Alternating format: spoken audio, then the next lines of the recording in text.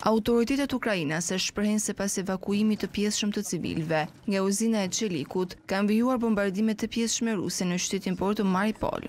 Një ditë më parë ministria ruse e mbrojtjes publikoi pamje ku një pjesë e civilëve po evakuoheshin. Në të tjera imazhe, tregohet se njëqind persona u ndihmuan të largoheshin nga strehimoret e tyre nëntokësore.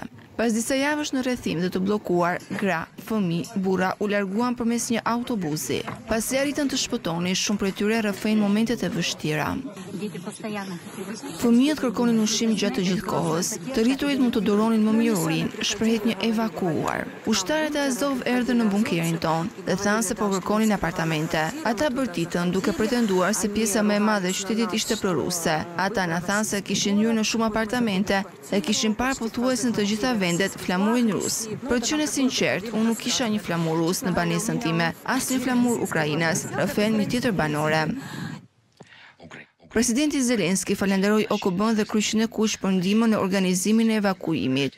Sot më në fund arritëm të fillojmë evakuimin e njerëzve nga Azovstal, pas shumë javësh negociatash, pas shumë përpjekjesh, takimeve të ndryshme, thirrjeve, propozimeve. Nuk ishte asnjë ditë të vetme që të mos përpiqeshim të gjenim një zgjidhje që të shpëtonte njerëzit tanë, u shpreh presidenti.